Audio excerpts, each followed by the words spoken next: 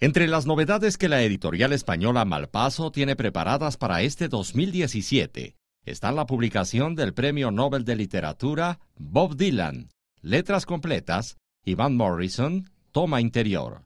Rafael Lemus, editor de Malpaso, detalló que el libro de Bob Dylan saldrá en febrero próximo y en él se recuperan todas las letras del artista estadounidense desde el inicio de su carrera hasta el presente. Es un libro de más de 1.200 páginas y viene en edición bilingüe para poder leer las obras en inglés y traducidas al español. Agregó que sea como sea, su valor cultural, el valor cultural de Bob Dylan, es innegable y en esta obra lo que se podrá ver es cómo dio voz a la sensibilidad de distintas generaciones. Sobre el libro Van Morrison, Toma Interior, explicó que se trata de un cancionero y saldrá al mercado en febrero, y también es una edición bilingüe. Tenemos un catálogo de música bastante importante y que se sigue acrecentando. En España, por ejemplo, este mes salió a la venta las memorias de Philip Glass, que llegarán en unos meses a México.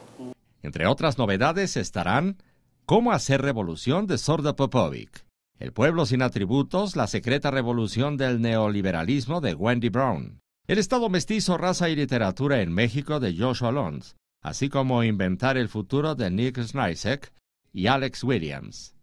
Con información de Luis Galindo e imágenes de Raúl Monroy.